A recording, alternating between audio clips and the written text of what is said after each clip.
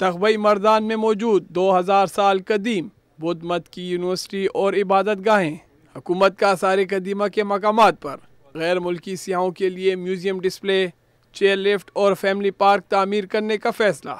इसको डेवलप कर रहे हैं कुछ काम हुआ है। मज़ीद इसको बेहतर करना है। इंटरनेशनल लेवल पे जो आ, काम होना चाहिए एक इस तरह की साइट पे उस पर काम कर रहे हैं। हुकूमत की जानब से सारे कदीमा को महफूज बनाने के लिए बजट में 50 करोड़ रुपए की रकम भी मुख्त दुनिया में इसकी मार्केटिंग शुरू कर लें ताकि बुद्धिस्ट रिलीजन के लोग यहाँ पे आएँ वो अपनी मजहबी रसूमात जो उन्होंने अदा करनी है वो करें और यहाँ पे टूरिज़म बढ़े यहाँ पे लोगों को रोज़गार मिले हुकूमत को टैक्स मिले।